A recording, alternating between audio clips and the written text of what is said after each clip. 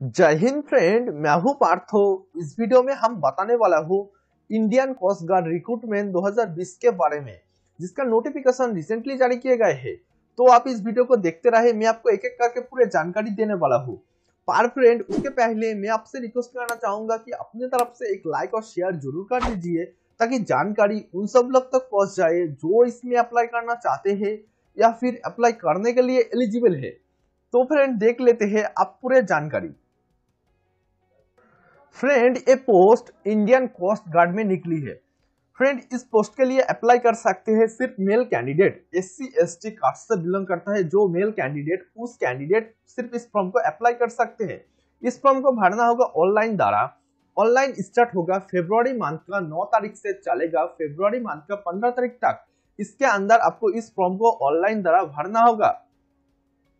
Friend, post general duty. इस post के लिए एडुकेशन क्वालिफिकेशन चाहिए।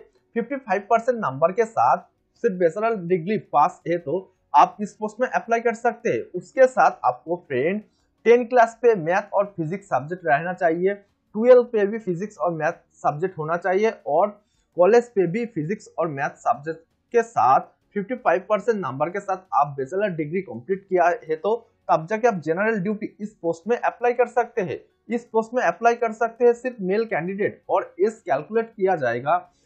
पहला जुलाई 1990 से 30 जून 1999 इसके अंदर आपका जन्म तिथि होना चाहिए। फ्रेंड एडमिट कार्ड दिया जाएगा। एडमिट कार्ड मिलेगा। फेब्रवरी मंथ का 25 तारीख, इस वेबसाइट पर जाके आपका एडमिट कार्ड आपको डाउनलोड करना होगा। www.joinindiancoastguard.gov.in इस इस वेबसाइट पर आपको फरवरी मंथ का 25 तारीख से आपको एडमिट कार्ड मिलेगा।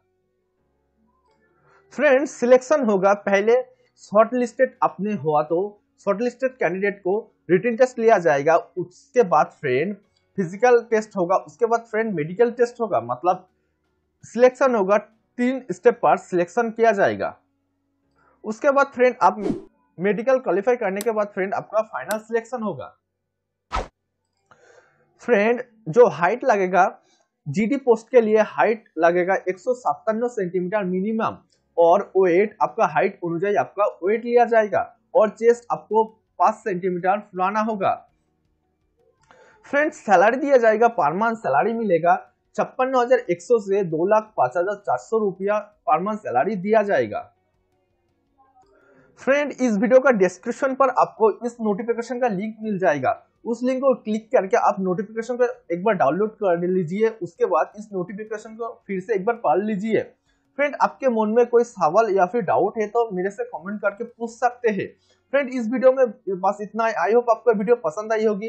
अगर पसंद आई है तो लाइक शेयर ज़रूर करें। साथों साथ अगर दोस्त, आप हमारे यूट्यूब चैनल सब्सक्राइब नहीं किया तो चैनल को सब्सक्राइब कर लीजिए, क्योंकि डेली इस पर गवर्नमेंट जॉब का न्यूज़ अपडेट करता हूँ। थैंक यू फ्रेंड इस वीडियो को देखने के लिए। तब तक के लिए जय हिंद, वंदे मातरम।